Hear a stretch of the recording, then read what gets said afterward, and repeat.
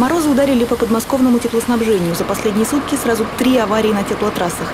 Сегодня днем в Подольске на улице Космонавтов прорвало трубу. Из трещины фонтаном полилась горячая вода, а из-под асфальтовых плит шел сильный пар. Но теплоснабжение в домах пока не отключали, напора хватает. Потом дали вечером.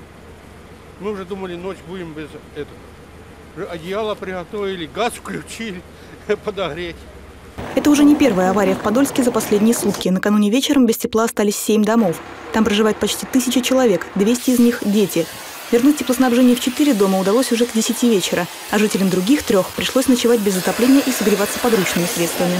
Пришла в 12 часов с работы, да, холодно, сразу включила газ, обогреватели у детей весь день включены были.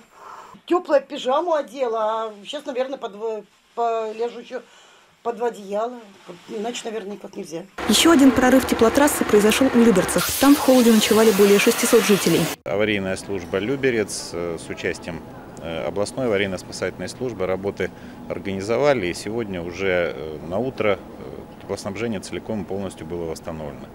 Власти Подмосковья говорят, что из-за холодной погоды сбоев в работе теплотрассы много, но их удается быстро устранять. Дарья Ермолаева, Новости Подмосковья.